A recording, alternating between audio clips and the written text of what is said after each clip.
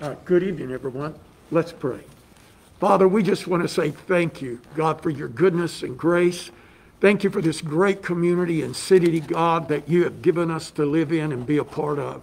Father, I thank you for Mayor Fox and the councilmen and women that are standing with him. Father, imparting wisdom and helping to lead and guide this great community. I pray tonight, God, that you would fill them with your wisdom and with your grace. And as they move in that wisdom, Father, I declare, God, that our city be, will be filled with peace. Our streets will be safe. Our families will be joyous and prosperous. And God, our businesses and industry will flourish. And Father, it'll be a delight to be a part of this community, and people will come from afar to be a part of it. So I declare that tonight over this meeting and over this city, and I give you praise for it right now. In Jesus' name, amen. We'll now have the pledge of allegiance. Great. Lead us. Pull the microphone down there. Yeah. Great, great, let's do some pledge. Ready? I pledge of the allegiance of the United States of America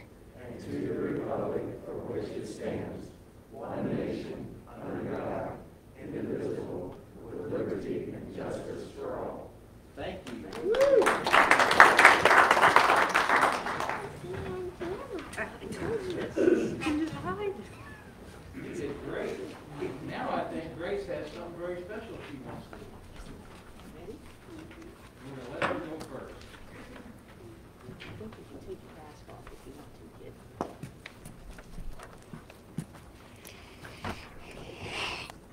I know that there are people who are homeless and uh, if we can get a school a local business, we together they can tell them to be teachers, and the teachers can teach the homeless people and people who want to be construction workers can fix the broken down houses and the local business can give the school money and the school can give the homeless homeless people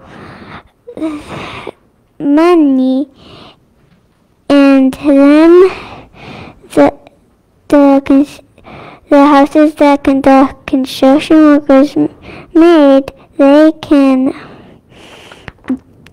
buy those houses with the money that the school gave them.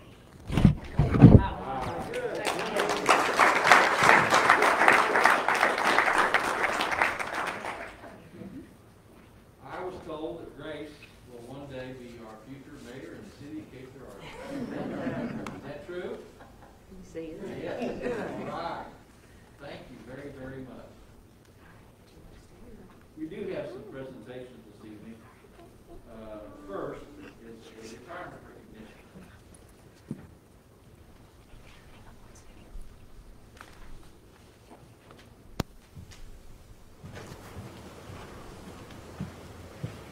And I'll come down front for that. Jane Reisenbickler.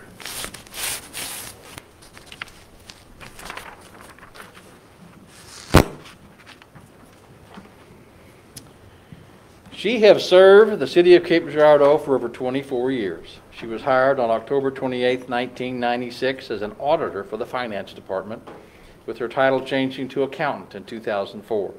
During her career, Jane has been instrumental in process and control changes which have enhanced the efficiency of both the finance department and the city by increasing the accuracy of interfund personnel costing, investment reporting, improvements in cash reconciliations, budget preparation, and many more areas within the finance department. That's a lot. Jane will be remembered most for her extreme accuracy, dependability, and commitment to the city. Although her departure will leave a great void, we want to wish her the very best in her retirement. And I have a plaque that says in appreciation and recognition of over 24 years of loyal and faithful service to the city of Cape Girardeau, presented this first day of April 2021 by the city of Cape Girardeau in honor of the retirement of Jane Reisenbecker from service to the finance division. Thank you, ma'am. Okay, thank you.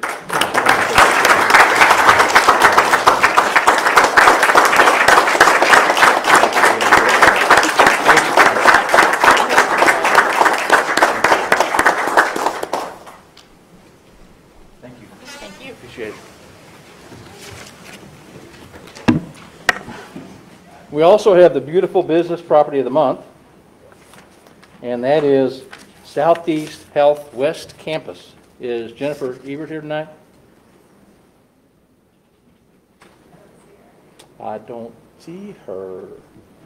Well, anyway, that's what it looks like. It's beautiful. If you've not been seeing the Southeast Health West Campus, it is beautiful.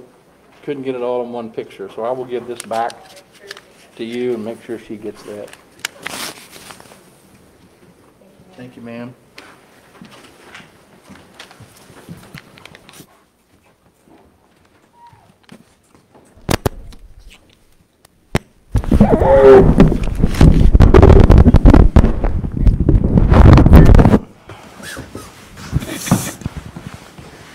Make sure I turn my mic on. Grace told me sometimes when she walks on, watches on Facebook Live, she can't hear real well, so. The masks don't help that much, but, uh, I hope that they got to hear her very well, because she had a very good presentation. Uh, next on our uh, agenda is a presentation from Old Town Cape on an update. We got Doc Kane with us tonight. Thank you, council. Also would like to take this opportunity to thank you for putting me after Grace. Uh, I mean, I mean, what, what could possibly, you know, happen here? Uh, I am Doc Kane, owner of Port Cape Girardeau Restaurant, and this year's board president for Old Town Cape. Uh, Our great director, Liz Haynes, who many of you have met and know, uh, could not be here tonight. She lost her voice. So at 7:30 on Easter morning, she emails me and says, "I can't talk." Okay, so, you know, I'm in the restaurant business, so Easter's really not a very big day for us. So I was just so glad to receive that email at 7:30 in the morning. However, I am here tonight, and I'm here to tell you that Old Town Cape is thankful for the partnership we have with the city. I think it's a good thing for all, in- all people included. Uh, We have some board members here tonight, and I would like them to stand up and introduce themselves. Right here. Danny Esner? Stephen Hoffman. Chris Conroy. And of course, your representative. So, we are a thriving organization. Even though the word thriving is not a very good word from the last 12 months. However, in that setting, our staff has managed to reach our fundraising goals, roll out new projects, and get ready to go for 2021. And that's what we have done. Our staff is amazing, our boards are amazing, our committee people are amazing, and you should be proud that you have people that work on these committees looking at all things we can do to make our area, Old Town Cape, a better situation. So I'm not going to bore you with a lot of statistical information. I'm going to give that to you. But one thing I would like to say is that on Water Street there, we've been trying to get the mural lit for, I think, about 20 years, or ever how long the mural's been there. And I hope you've noticed that the mural is lit. And it is such an addition to the riverfront area. It makes it more safe. It's much more appealing. So that was my pet project. And then Mr. Danny Estner took that on and he got it done with a lot of help from all of us here and the city. And some private uh, money and public money and contractors went into this deal. We've added some new events.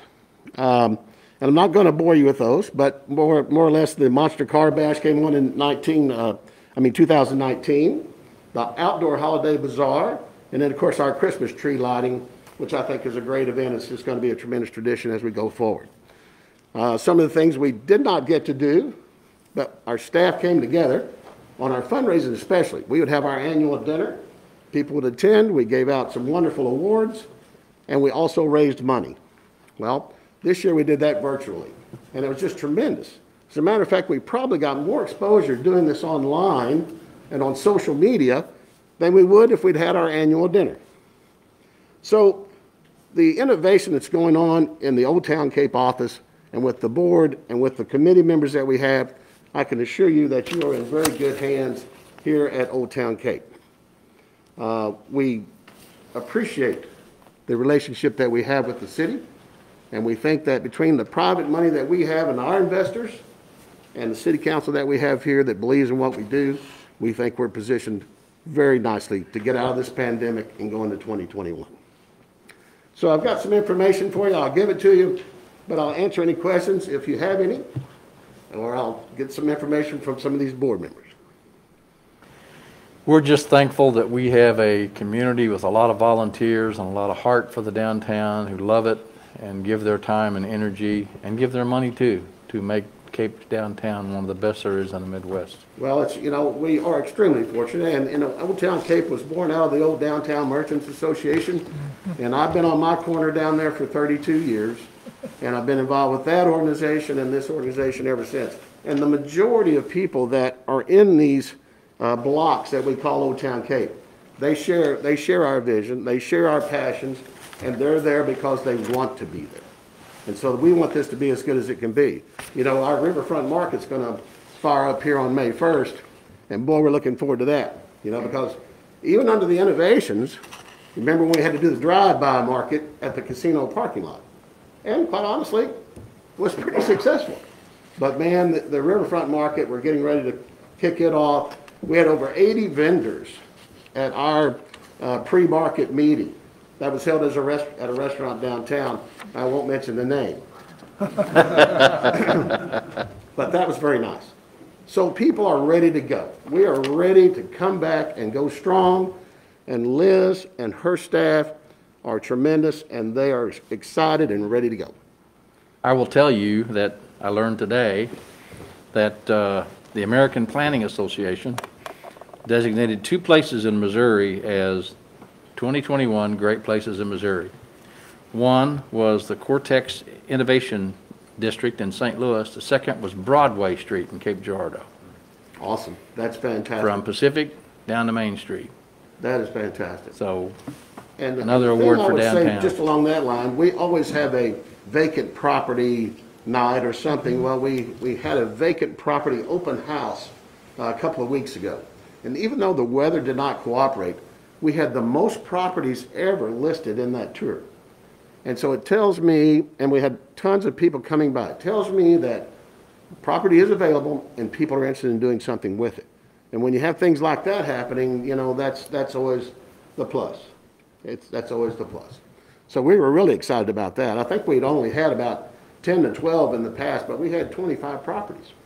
And they were getting well visited by people, even though it was cold and kind of rainy. So there's, there's, there's a lot of good things in the, in the future, and um, we, we hope that you will continue to be uh, uh, our partner at Old Town Cape. Okay. Thank you, Doc. And I'll leave these things with you guys, and you can look them over. Thank you all for what you do.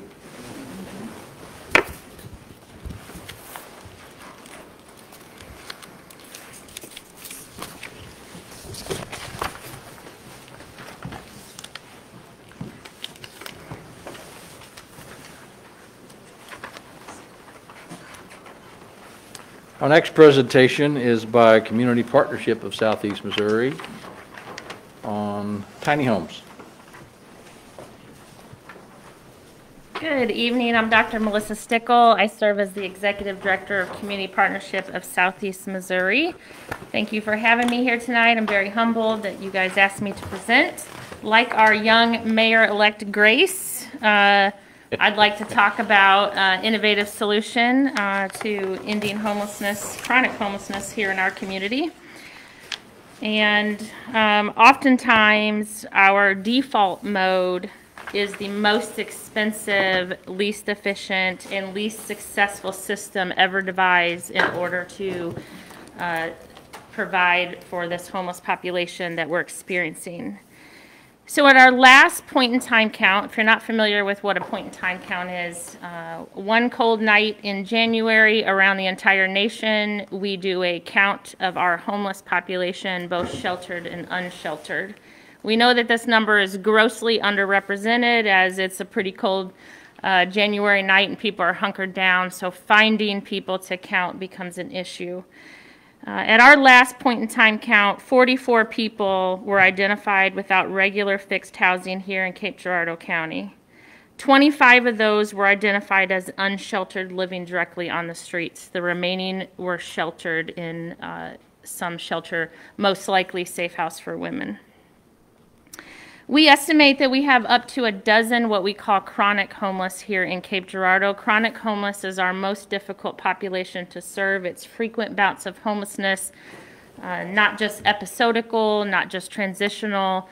Um, this population is uh, likely to have multiple barriers, and so they're frequently homeless over long periods of time.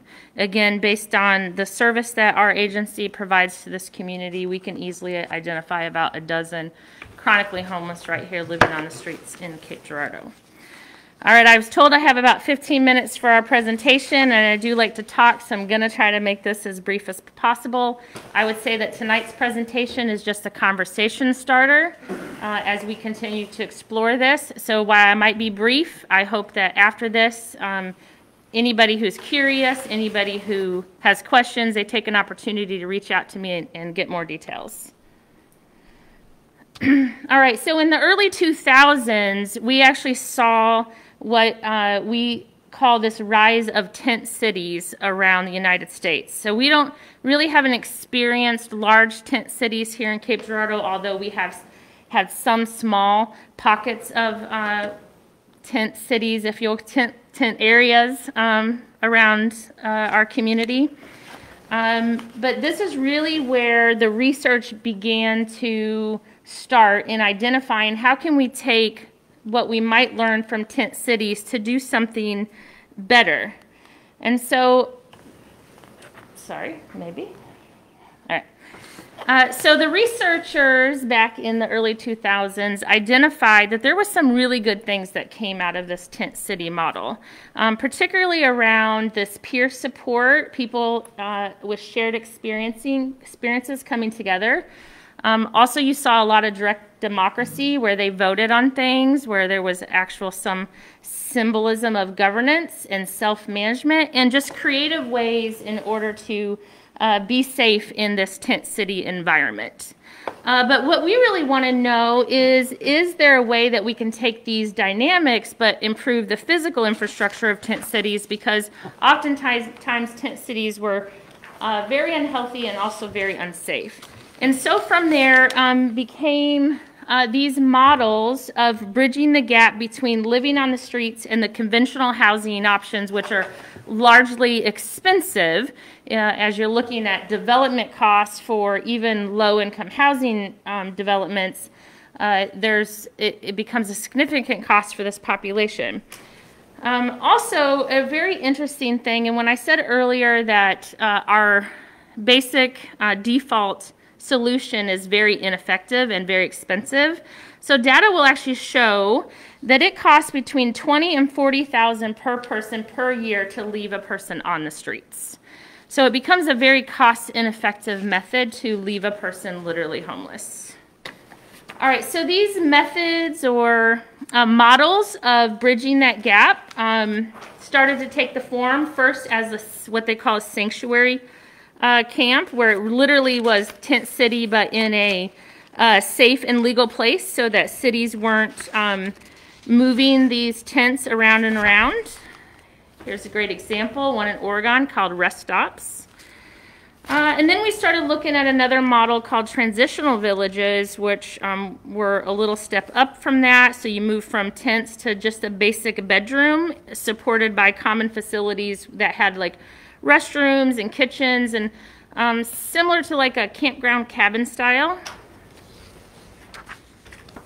Here's a great example of one in Oregon called Opportunity Village that was built in 2013. And then lastly, we have a, a more long-term solution, which is called an affordable village, uh, which is uh, a much more radically accessible and sustainable place to transition to. It's, and it's also more cost effective than traditional development. Here's a great example um, called Emerald Village. There's actually a lot of these villages around the United States. Here's just a few of those. So Dignity Village started out as a tent uh, city that was moved around very frequently. Uh, the city decided they needed to do something about it, and they actually donated the land for which this uh, village um, is now built. And it is actually considered the pioneer of tiny home villages. It was built in 2001. It's one of the very earliest examples. Here's Nickelsville, another tent city, moved around um, multiple times, vacated, moved to another location, vacated. Uh, a group got together and they decided to build this tiny home village. What's interesting about this one is it's built on a single family lot. So right in the middle of single family dwellings. And it is used as an example to demonstrate that these tiny homes can actually successfully coexist in neighborhoods. Here's Camp Quixote, another example of a tent city. Uh, they transformed their tent city into a tiny home using very creative funding streams, which was also sponsored by the city. So this one is actually funded by HUD and also community development block grant funds.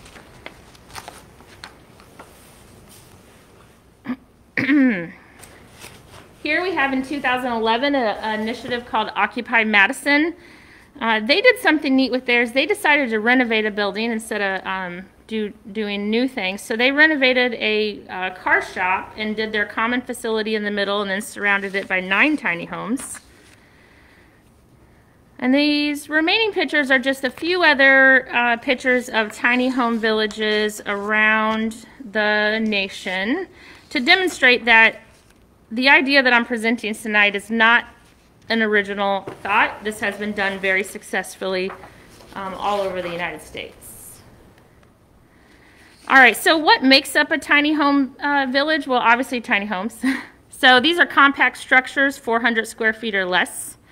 Uh, they're all supported by a com- uh, common building in the middle. Typically, it'll have um, shared kitchen, laundry, sometimes showers if showers aren't available in the tiny homes, uh, and then space for services and gatherings and meetings and such. Um, all of them uh, involve residents in the decision-making process. So this is part of that governance model out of the um, tent city. And then everyone that lives in a tiny home village model uh, has a basic set of community agreements that they have to abide by in order to stay there. And then by and large, all of them uh, are sponsored, uh, and oh, sorry, and all of them have a village meeting regularly, and then all are sponsored um, by some nonprofit which provides oversight, safety, administration, um, general oversight of the whole project so it doesn't become like a the quintessential um, tent city. So the community agreement um, really is just a basic set of rules and um, principles. Every uh, tiny home that I researched has one. Um, they vary on what's included, but uh, essentially um, there's no violence, no theft, no uh, alcohol, drugs, no persistent disruptive behavior, and then somehow contributing to uh, the maintenance of the village. So oftentimes you'll see people living there if they're not able to pay rent, that they do have some sort of job um, or uh, cleanup duties or some, some duty uh, in order to be part of um, the maintenance of that.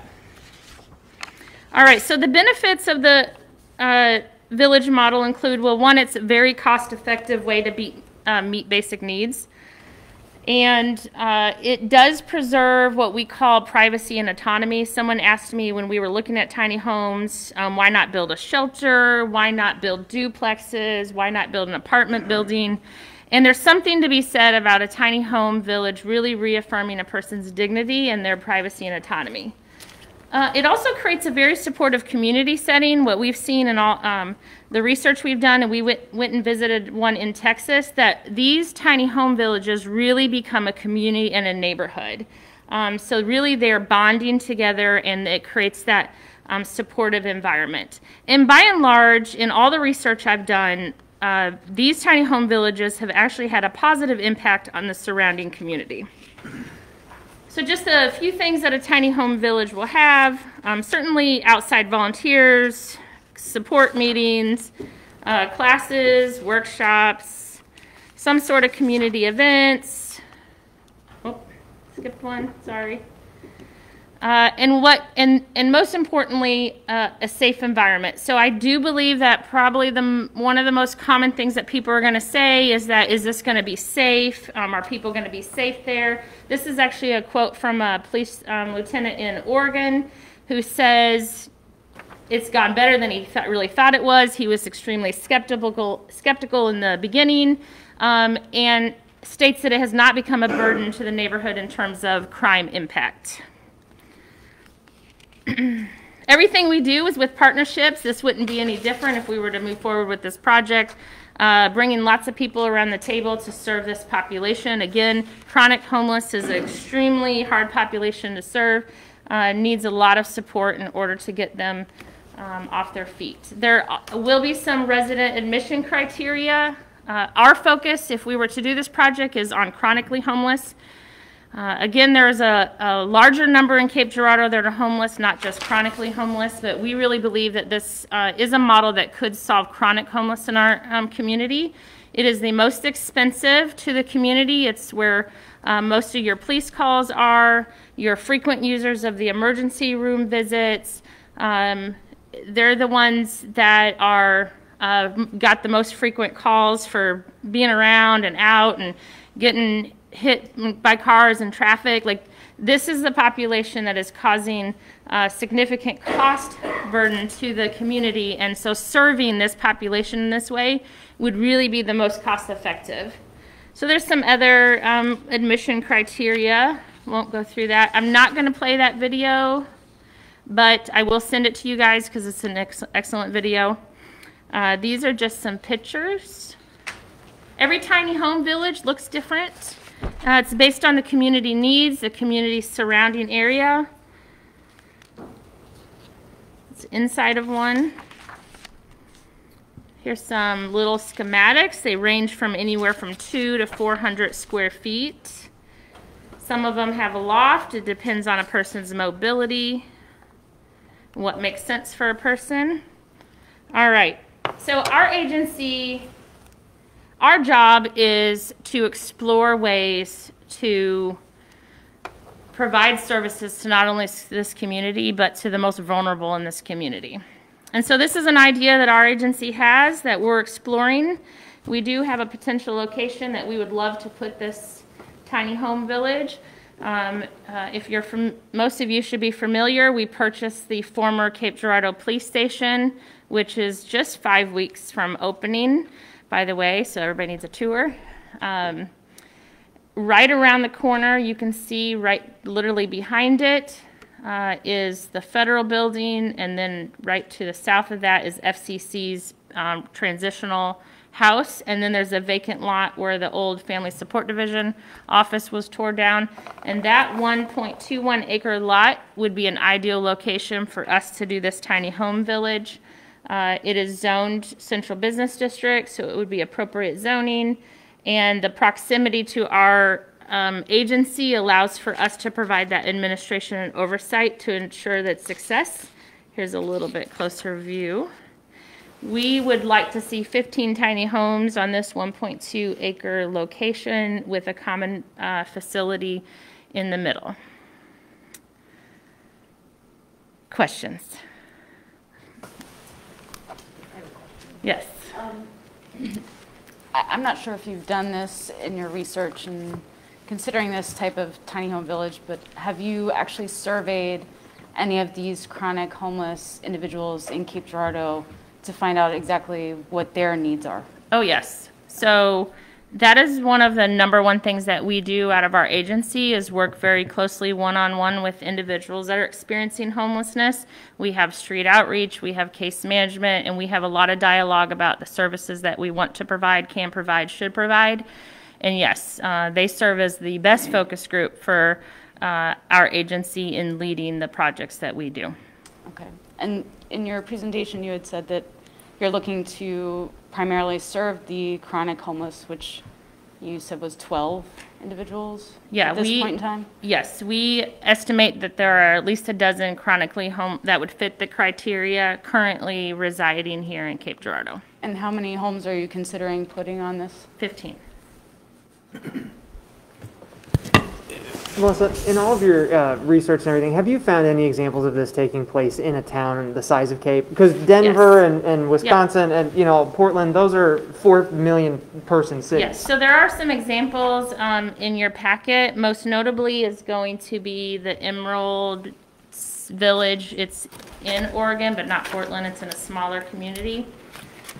Um, Springfield, although it's is larger, if we're looking at Missouri, Springfield has one. Kansas City, the bigger metropolitan areas have one, and most of that has to do with um, funding and ability of a nonprofit to support it, where you don't see um, the capacity of nonprofit partners in the more rural areas. And also, rural homelessness looks completely different from urban homelessness, um, where you can go camp and tent and nobody knows you're there, and it doesn't, it's not top of the, um, it's not right there visible for county commissioners in rural area, and so you don't, you see them less frequently in more rural areas.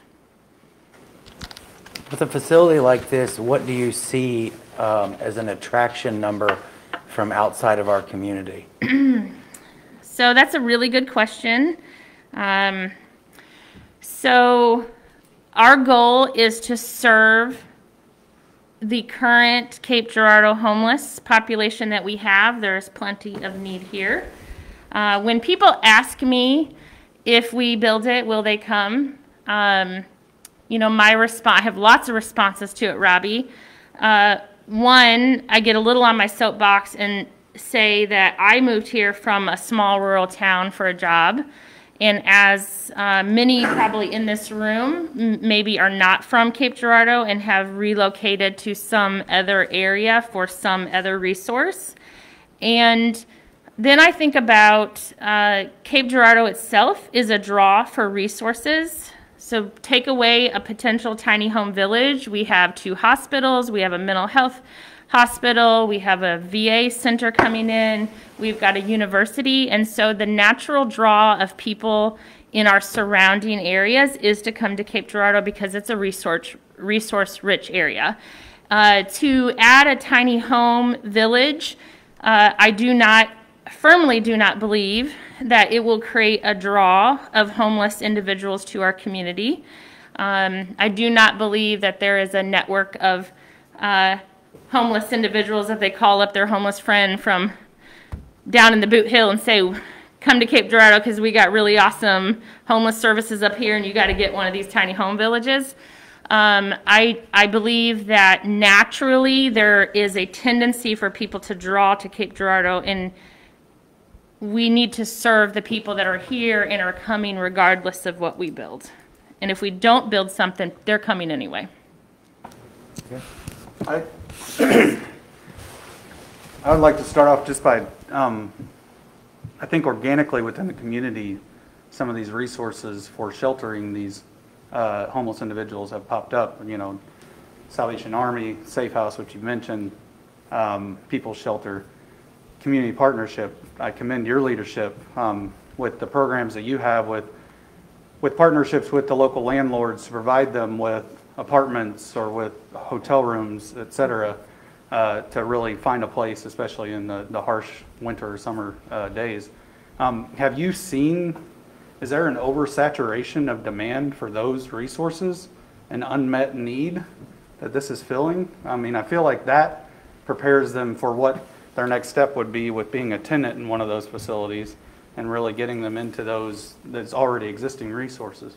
Sure. Um, I gotta think about the answer to the first question about oversaturation of needs. But what I would say is that looking at the population that this project would serve, our chronic homeless population, they they are the least likely to actually move and transition to what we like to call self-sufficiency or on their own where they can live in an apartment and pay rent and have a job and be what people like to call upstanding members of the community. This population probably won't get to that place for lots of reasons, whether it's a disability, whether it's mental health, whether it's addiction, whether it's uh, PTSD, whatever whatever the issue is that's causing them to be chronically homeless, it is not likely to be a, a solution.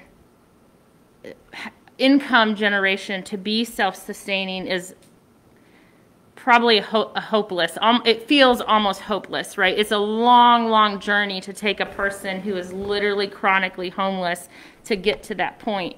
So while we would love to be able to transition people to the housing support that we offer, because we do have quite a bit of funding that we support people with eviction preventions, um, deposits, rental assistance, people who are episodically homeless, transitionally homeless uh, individuals who are affected by COVID or affected by domestic violence or affected by they got sick and couldn't pay, you know, their mortgage. Like we have funds for that population. Our biggest gap in financing and funds is a solution for the chronically homeless population because it is the most difficult, most cost it, it cost burdened uh, population to serve. And a lot of people think an a shelter is the appropriate way to solve that, and emergency shelter is actually a very cost inefficient uh, and ineffective way to serve this population. I don't know if I really answered the the first question about the oversaturation. We do have a, quite a number of funds for housing services, but not for this population. So you're, this is a very specific subset. Yes. And who, with that population, I guess in my mindset, the goal would be to eliminate homelessness is our goal. Chronic And- homelessness. Well, I mean, in general, all I'd love levels to of homelessness, yes. and you're saying this is identifying that Yes. one specific. Yeah. um, portion of that demographic, um, or one, por- one demographic. Uh, I guess the goal would be to eliminate that, and I feel like if that, is there some, is there some plan to offer or transition them into those programs to where they could eventually Sure. work if- beyond this into those? Absolutely. I mean, our, our mission even says that we want to move people to self-sufficiency. That's ideal, right, for everybody. Mm-hmm. I think the reality for people and what people need to understand is the reality says that a person that's chronically homeless is a long, long, long, long road to getting to where people would consider themselves sufficient. And people have to be okay with understanding that. It doesn't mean it's impossible, it means it's going to take a lot of work. Uh, but studies and research will tell you that you can go much further if you house a person first. So HUD, which is a national organization, subscribes by Housing First. It says we house people first, then we work on substance use, mental health, finances, all of those things, because housing them first is a much more cost-effective way to get all- those things accomplished in the long run. So we, we house first. And then I guess the other part of it is, I'd like, you know, your residents' requirements and, and contracts and what they have to abide by. How is that going to be enforced? It seems as if there needs to be someone on site around the Yes, so clock it will to be manage this. It will be, st- it would be staffed uh, by some title we haven't called, some sort of coordinator, um, manager. Um, Some models have um, some residents who have, uh, where they trust and to, to do peer um, coordination. And then some models use interns, and some models have staff that live on site. So we're still exploring all of those models um, to see what would make the most sense for this community in that model. So, Say- oh, You say you want to do housing first, and you want to bring chronically homeless people who generally, usually always, or most of them have either alcohol problems or drug problems, and you want to house them first, but yet your contract says they can't use drugs, they can't drink. Are you immediately going to stop that when you house them? So it doesn't say they can't use, it says they can't bring that on site. So uh, this would not be a dry place. Uh, People could certainly um, be drunk in their homes, just like people in homes in my neighborhood could be drunk if they so choose to. Um, What wouldn't be acceptable is to bring drugs and alcohol on site, and we see it, and it's out there, and it's on the premises. That would not be acceptable behavior. Okay. It's a fine line. There's a Of fine line people's there. privacies, of people's self-determination, and housing first. Is there a limit as to how long a person could stay there? If they're transitioning? So our goal for this model is likely a permanent affordable solution. So if a person still needs that permanent affordable solution, we're not going to kick them out. That kind of goes against uh, our vision of housing people. The only real solution to ending homelessness is housing. Uh, If we feel like a person is ready to transition, then absolutely we would do that. And um, we have a professional set of social workers on our staff who work with people all the time on moving them across that spectrum, working on plans and, and goals and getting to another step. And so, yeah, that would be the goal if possible. To me, that doesn't seem to solve the problem, though. If you've got a homeless person who can go out and use drugs and drink and then come back, and you give them a place to stay, they could be there forever. Sure, I guess we can, um, uh, I can see that perspective, um, but I would say that the goal is to work with a person to understand that that's not the best solution for them to continue to be in their addiction and help provide services while they're housed so that hopefully that they will move. Um, it's better than them being drunk on the side of the road next to a school. It's a better solution than what we have now. A much better solution. It- The, I'm so- well, the, I guess, the point is that you would consider the- these people to be drunk and unemployed and, and forever on the street, if not. Yes, I mean, they that's would the, be- that's the they- group that you're talking about. So our about. alternative solution is what I said earlier, the default mode of leaving people on the streets.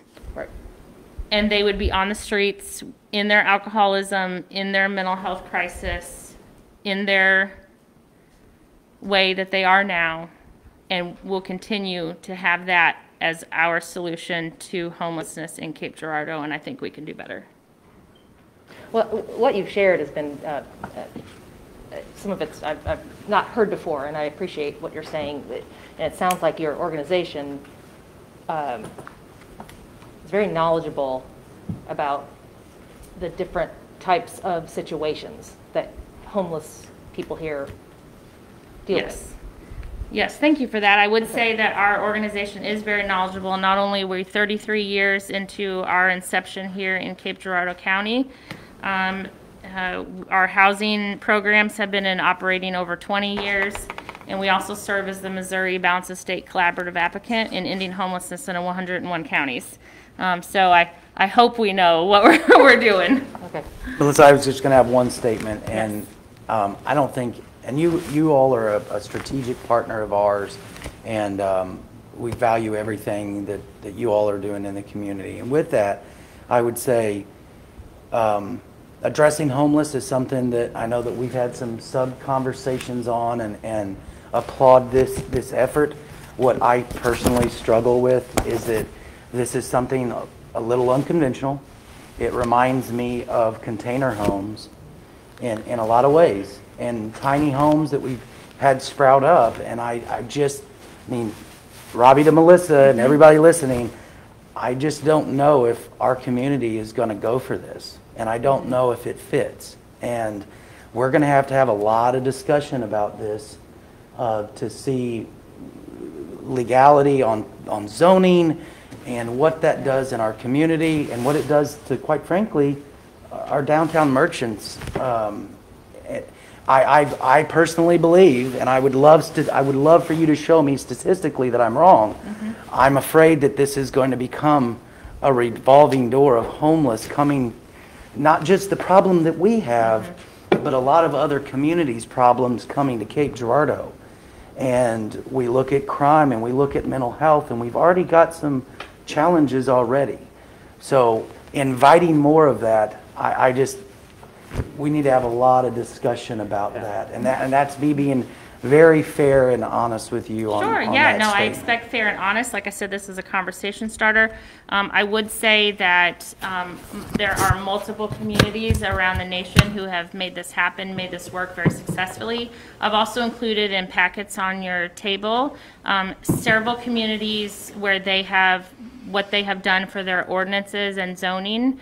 Um, also several newspaper articles for tiny home villages that have been very successful. And of course, I will share this PowerPoint um, with you that, uh, oh, yes, it's in there in your packet so that you can reference other, um, other communities that are doing this very successfully. And, you know, Robbie, I'd love to have, you know, conversations with you about your concerns. Um, my, probably maybe my parting feedback, because I know it's a long night, um, to say that our community won't go for something like this is to say alternatively, our community wants to keep people on the streets homeless. And that should not be acceptable. I, I understand that, but I think there are alternative methods outside of a tiny home. I don't think anyone up here or the community says we want, so I, I don't really appreciate that comment like that, but we'll leave it at that. I can, I, I understand. I, and I would love to hear these alternative solutions as well. This is not the only solution, it is a viable solution.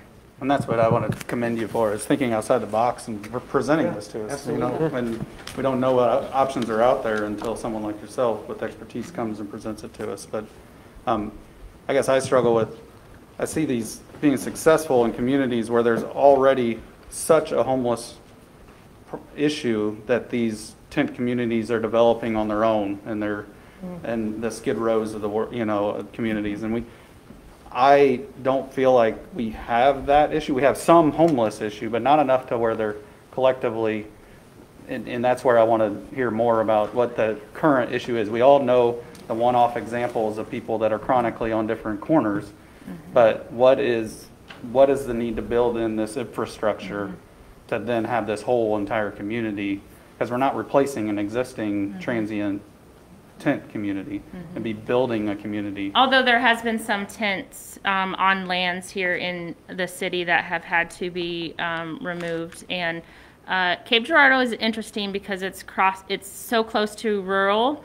Um, It's like right on that fine line. And like I said earlier, rural homelessness looks a lot different. And so you, uh, oftentimes, it's hard to find our population to be very visible because they're hiding in the woods or they're places where you don't see them because we're on that little fine line between rural and urban. You know, I think it's interesting because we have two strategic partner organizations here tonight. And from people that I've talked to that are members of the Old Town Cape organization, I've heard about the homelessness issue. And people have brought that up to me and people have called me to talk about that. And so there, there needs to be some synergies here. There needs to be some conversations between Old Town Cape and the people they represent, community partnership and the people they represent, and to see how it would impact the city of Cape Girardeau. How is it going to impact the, the health of downtown? How is it going to impact the chronically homeless um, conversation? So, like you said, this is that conversation starter, and so it just leads to future future conversations.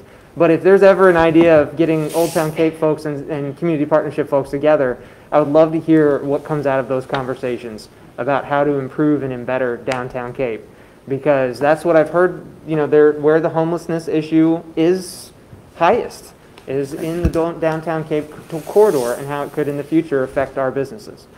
And also to piggyback on that is, is, is it a homelessness issue or a panhandling issue? Because all the panhandlers aren't necessarily homeless.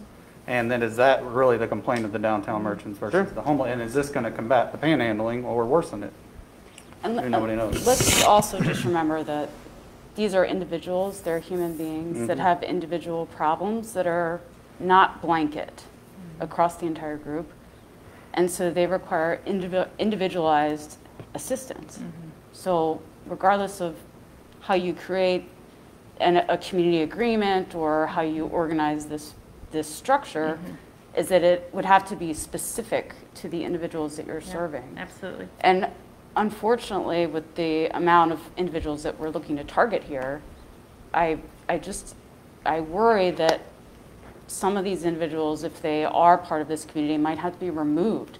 And so then now, where are we going to take those individuals that were removed from my home situation, and then, then where do they go mm-hmm. because they've broken some type of rule? Mm-hmm. It, it's a, it's a complicated issue, but mm-hmm. we just have to, to be cognizant that every individual is going to be different. And which is why I asked if we've surveyed these people, um, those 12 people, I want to know what their needs are. I think the council would like to know what their needs are. That's great. Okay, All right. thank you. Thank Thanks, you. Melissa. Thank you. Uh, Mayor, just uh, a couple of uh, things uh, for, from, from a staff standpoint. We, um, we currently do not have a tiny home uh, development code or building code. So uh, there's one that exists, the the newest building code that we, international building code that we haven't accept- uh, adopted yet, does have one. It is something that we could look at uh, bringing in and, uh, and and establishing, you know, what are the, what are the specifications, what are the building uh, specifications and those types of things? What are the design standards?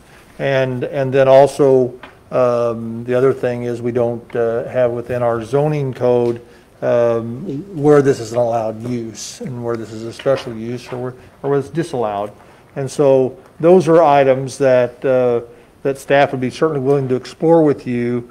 But I think probably germane, the first question we would want uh, you all to wrestle with and come up is, do you want them at all? Because if this is a container issue where you're saying we don't want, we don't want these at all, then it's a pretty long process for us to research and take this to planning and zoning, have hearings, go through planning and zoning, bring it, and then bring it all the way to you to find out that you don't want them at all. So we're fine with it either way, but before we proceed, we'd like you to, to, to come up with that. This, um, and, and, and are willing to do that. The second, the second piece of that is really a second, to me, a secondary question, and that is, the one that you've been asking a lot about is, if this, uh, if this solution is the tiny home solution as proposed, which is innovative and, uh, and, and very, very well looks at it in a different way than we've looked at it before, is this a solution that, that you feel is proper for Cape Girardeau and proper in this location? Because that's kind of the one that's, that's in front of us now. And so I'm not asking for a answer to those things tonight, but I think it's, it's something that you may want to discuss later on in the agenda.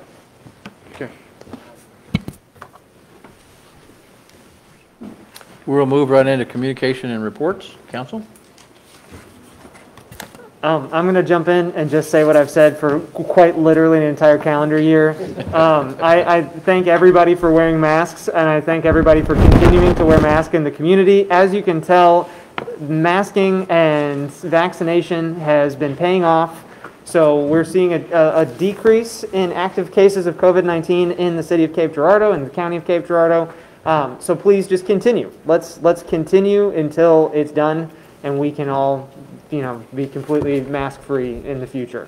So continue to wash your hands, socially distance, and wear your masks in public. Thank you. Anybody else? I was going to do the opposite of that. No, I'm just kidding. I will say, um, there, I got a report last week that on Friday of last week, there was only one person in the hospitals in Girardeau County, and that was a huge sign. I know that the university is starting to uh, vaccinate students. My oldest daughter is going to be getting a vaccination this week, and so for her to be getting one this early in students, I was pleasantly surprised that that's being rolled out at, at the uh, university level. And so looking forward to weeks and months to come, so. Go.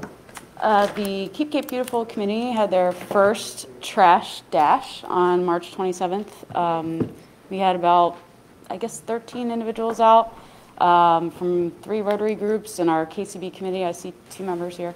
Um, And it only took us a little over an hour to get 16 bags of trash between Hopper and Arena Park Golf.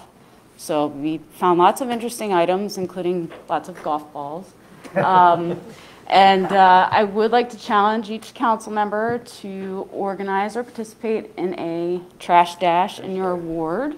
Um, We had, we did take our litter tours, so we know already some of the areas that were a concern. Um, Hawthorne was a high litter area in my ward, so I want to make sure that we did that. And the Keep Cape Beautiful Committee will give out T-shirts for volunteers that pick up trash. So there's something cool in there for you if you want to participate, and just reach out to me, and we'll get something organized for you. I also just wanted to mention that on Saturday, April 24th, that is the Friends of the Park Day and the Great Cape Cleanup. So please be thinking about locations and areas to help um, clean up, and registrations at 8:30 at Capaha Park um, to participate in our beautifi- beautification events. So look for- forward to seeing you all there. Okay, anybody else? If not, I'll go. Uh, Wednesday this week, uh, I learned today that uh, I was asked to be uh, at Central High School Wednesday to greet Senator Blunt, as he will be here to uh, uh, talk about COVID issues and, and COVID money and so forth. So I will go down there and greet the senator. I I have had a couple of discussions with his staff about the docking facility and whatnot, so I'll be anxious to talk to him. Uh, Also, this Thursday, the 8th, the American Duchess will be the first cruise ship, cruise boat to dock downtown. Uh, They're following a little different procedure with COVID. They're not going to let people get off and wander yet. Uh, People will get off in groups, small groups of less than 25 and board a bus, and they'll do, they've got a set tour that they do around the city and around the area. Uh, But at least the, the boats are beginning to move up and down the river again. Also, Thursday at 5:30 at the Vasterling Suites, uh, there's a public art reception in honor and revealing the sculptures that are up and down Broadway. I think there are seven of them. Uh, Are they up yet? All of them? Okay. I I hadn't seen, of course, I can't drive all the way down Broadway now. Hopefully, that'll be corrected soon. But uh, it's always an exciting thing when they put new sculptures out there. Uh, It's a really, really a neat program, and uh, the the downtown merchants and the, and the people in the city have supported it, and it's gone very well. So that's all I've got. Scott? That's all I have. Okay. Are there any appearances this evening uh, by advisory board applicants? I don't see any. Any appearances for items not on the agenda this evening? The crowd kind of thinned out. If not, we will move into agenda review. Uh, thank you, Mayor. We have uh, one public hearing tonight. Uh, it's a public hearing to consider rezoning of Hawthorne Road uh, from R1 to R3. Um, so we'll have that public hearing, and then we will vote on the first reading of that under item number 18. Um, On our consent agenda, we have the second and third reading of the truck routes removal. They have removed two two from our truck routes. Um, and then we have a series of demolition contracts at 1237 North Water Street, uh, 1112 Harmony Street, 1237 Water, North Water, and 529 South Benton Street. So uh, moving forward with uh, the demolition of uh, some of those uh, properties that uh, uh, is a healthy and good thing to continue to do. Um, Then we have on number eight, a performance guarantee with SEMO Development for the Hopper Crossing project. And a, uh, that's for phase one, and phase three is the number nine uh, with the same SEMO Development. uh, Then uh, number 10 is the uh, performance guarantee with uh, Meyer Properties at Touchdown Ridge 2. 11 is the agreement that we have with the U.S. Aviation Academy for office and hangar space for the new flight school out at the airport. That's a milestone. And then um, number 12 is the, uh, a project to extend a water line and basically make a loop uh, to give us redundancy in our water system on Cypress Road. Uh, Nip Kelly will get that contract. And then uh, 13 is the contract for services for Old Town Cape that you heard from earlier tonight. And 14 is a special use permit transfer of ownership at 3451 and 3457 Williams Street. Believe that's the car wash. So uh, are there any items on the consent agenda that you wish to have removed? Um, no, but on fourteen, I need to, uh,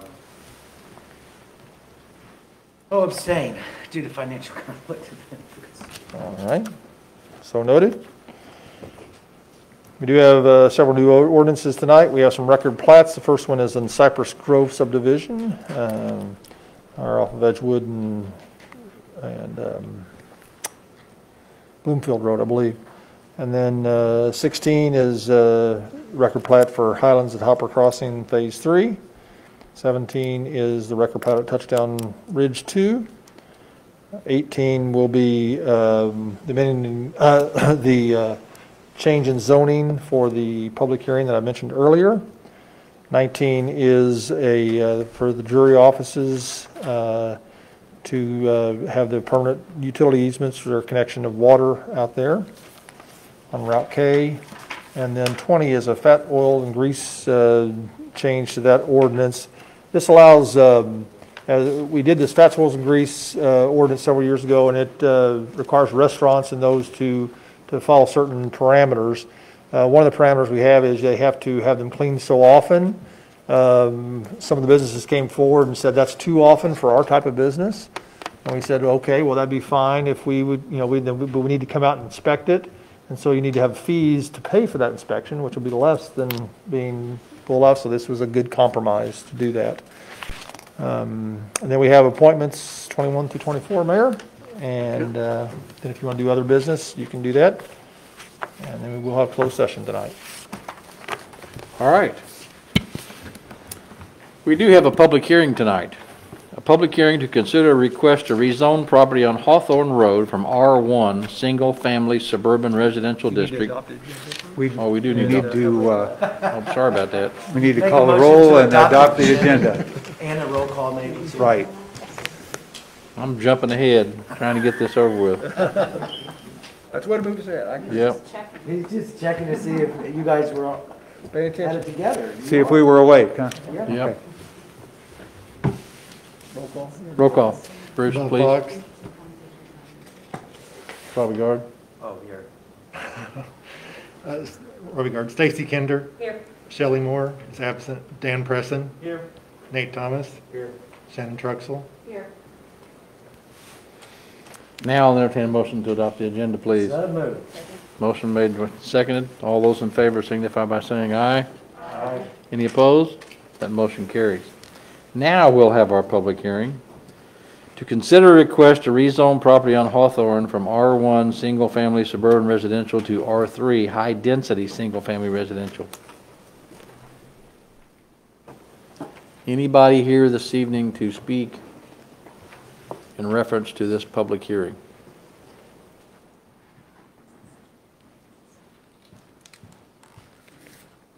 Hello, Jerry Jones, uh, 2609 uh, Saddle Ridge Lane, Cape Girardeau. I'm the developer uh, and owner of this property. Um, It's going to be uh, R3 is what we're asking for, uh, duplexes or townhomes. We haven't got a final plan yet, but uh, that's what we're looking for. I'm happy to answer any questions anybody has, or you want me to give a presentation of any kind regarding the project. No questions? Nope, don't think so. Thank you, Thank you. Jerry. Thank you for coming, Jerry. Appreciate it. Anybody else to speak in reference to this issue at the public hearing? If not, I will close the public hearing. Are there any individuals who wish to make comments for any other items listed on the agenda this evening?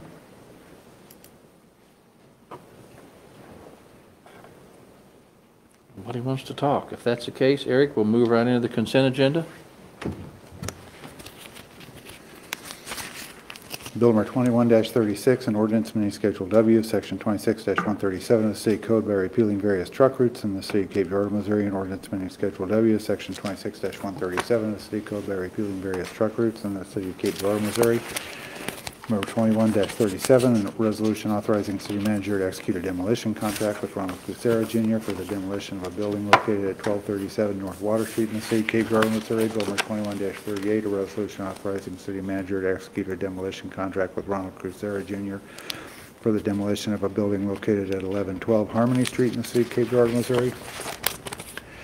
Number 21-39, a resolution authorizing city manager to execute a demolition contract with Logan Blevins Excavating LLC for the demolition of a building behind, behind twelve thirty-seven North Water Street in the state of Cape Girardeau, Missouri. Number twenty-one forty, a resolution authorizing city manager to execute a demolition contract with Logan Blevins Excavating LLC for the demolition of a building located at 529 South Benton Street in the city of Cape Girardeau, Missouri. Bill number 21-41, a resolution authorizing city manager to execute a performance guarantee agreement with SEMO Development LLC for the Highlands at Hopper Crossing Phase 1 in the city of Cape Girardeau, Missouri.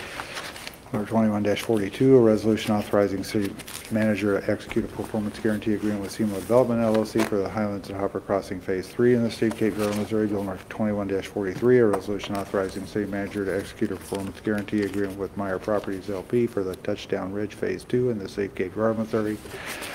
Number 21-44, resolution authorizing city manager to execute a lease agreement with U.S. Aviation Academy for office and hangar space at the Cape Girardeau Regional Airport. Bill number 21-45, resolution authorizing city manager to execute an agreement with Nip Kelly Equipment Company for the Cypress Road water main in the state of Cape Girardeau, Missouri.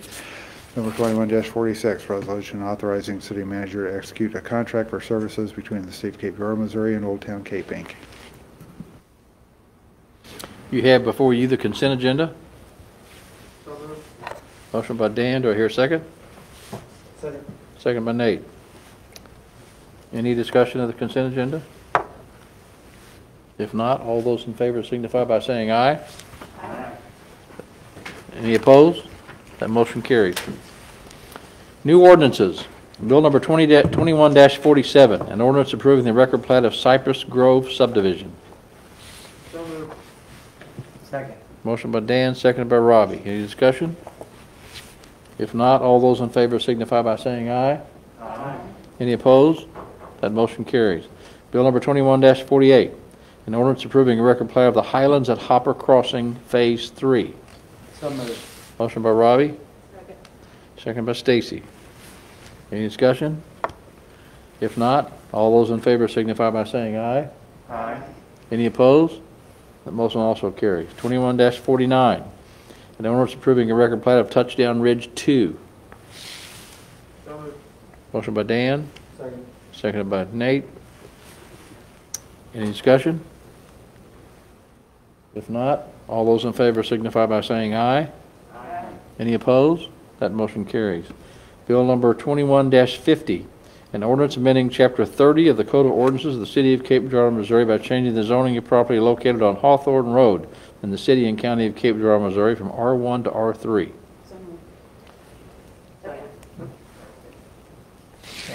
Motion by Shannon, seconded by Stacy. Any discussion? Mayor, please mark my vote an abstention due to financial conflict of interest. So do.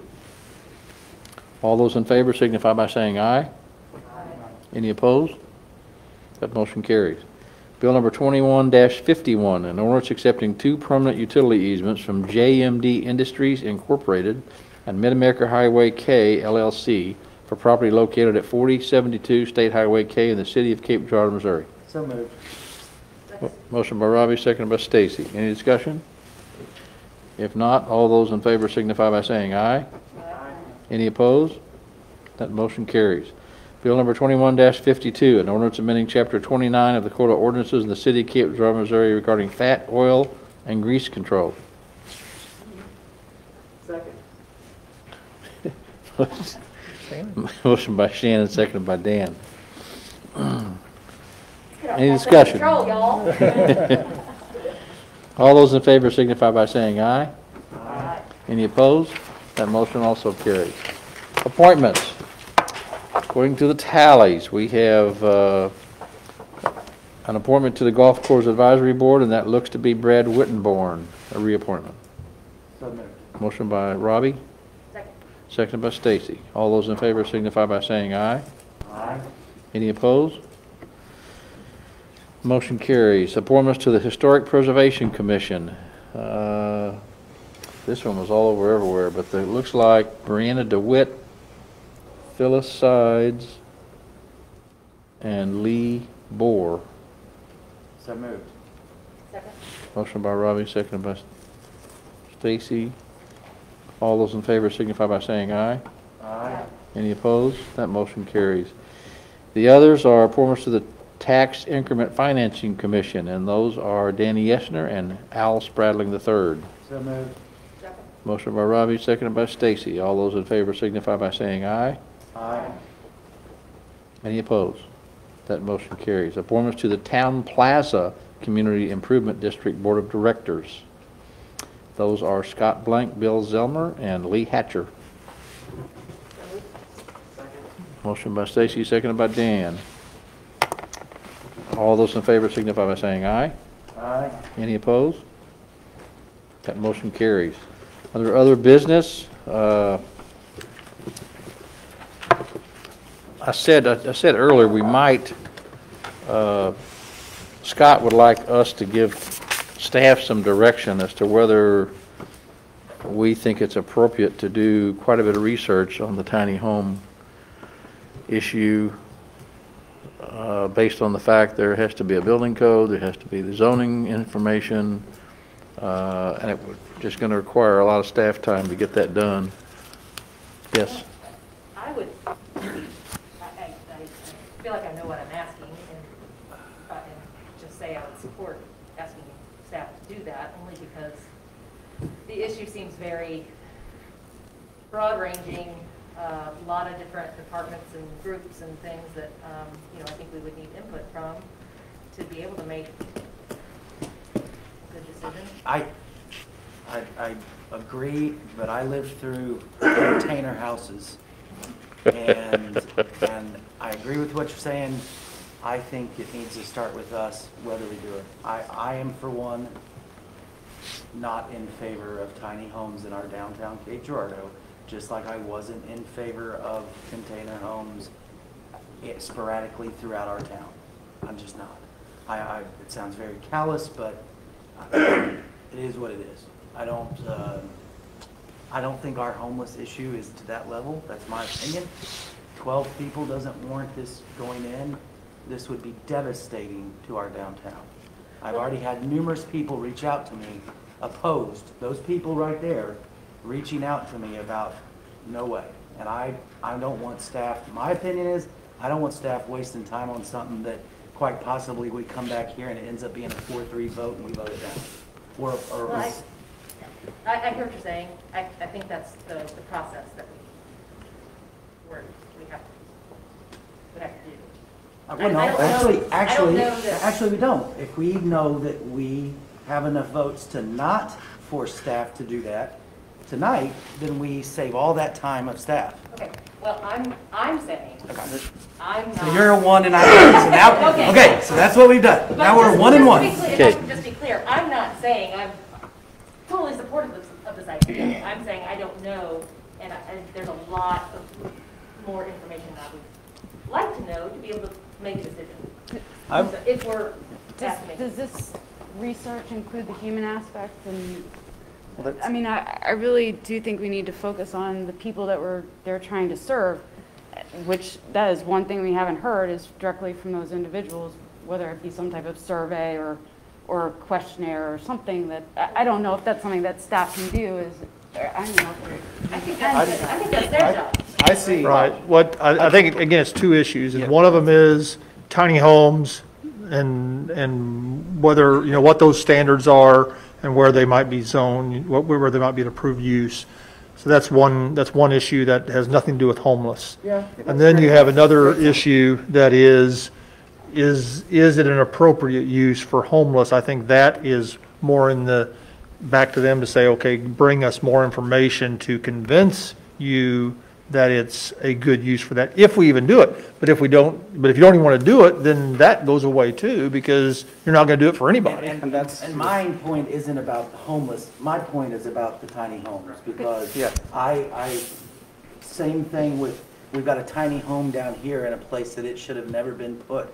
The container homes, that we, we had a a spirited debate on a few councils before. I'm not for the tiny home aspect, and I would hate to see staff do a bunch of work on tiny homes if we didn't agree for tiny homes. And that's, a- that's an extensive amount of resource, and that was the exact point I was gonna make, Scott, is there's two separate issues. And on that one, there's an, a lot of resources will be used to develop the zoning and the requirements and, and whatnot. And that would be for all tiny homes that would be considered individually owned or leased, whereas Individually owned these tiny are, would be a whole village, who owns them? How, are what's the lease arrangement or not, you know, whatever that is, that's a whole separate issue. Because once we approve and okay tiny homes for here, that then opens it up for anybody to say, well, you've made the exception here, make the exception for us, or Right. anywhere around town. And then the other issue about the homelessness, I'd want to hear from, well, I'd want to hear from our police force, that they would probably have the most knowledge, because anecdotally, I, I've been told, we don't necessarily have a bad homeless problem. Um, Is that, does that then necessitate a need to develop a whole infrastructured community for what may not necessarily be a need? Before I make that call, I want to know. See, Nate, I appreciate the point you made about just tiny homes in general, because it, I no professional on this, but it seems like a subject uh, that is, that is becoming more popular, even for people who are not homeless, but who can- who just Yeah. choose to live in a, People who really want to downsize. yes, who really want to downsize. And those, those would have indoor plumbing, and these are not. You know, these are essentially sheds. These are, I mean, they're not even mobile homes, you know? Well, now they, did they say they're, have they, have they set a square footage? They're talking about 200 square feet. That's, They were saying less than four hundred, then they would have a centralized managerial, or man, centralized hub for showers and I whatnot, thought so, she wavered on, she wasn't quite sure on that. yeah. well, here's, here's my concern. And I, and I agree that it is a, each person is a human being, and you have to be concerned for those human beings, but, and the concept has worked well in other places. They are all larger cities with much more severe homeless problems than we have. But I am concerned about the fact that they have certain guidelines that they let people stay there, but yet they're not, you know, when I, when I ask the question, well, most homeless that I have, the chronic homeless, are those who are either addicted to drugs or alcohol and have substance abuse issues. And yet, issues. they're gonna let them go on and do what they do and just give them a place to stay and let them just keep doing what they're doing. And they can stay there forever, as long as they want to, but they're not solving the problem at all. Now, they may have programs they try to get them into, But most of those people don't want that. So is that, I mean, I know that's the human aspect, but That's then why I'm again, asking, we should be asking. these those are the kind of questions that we need to ask. There ought to be other, those ought to be the people they have in other situations rather than, I mean, give them a private room somewhere rather than build them a house.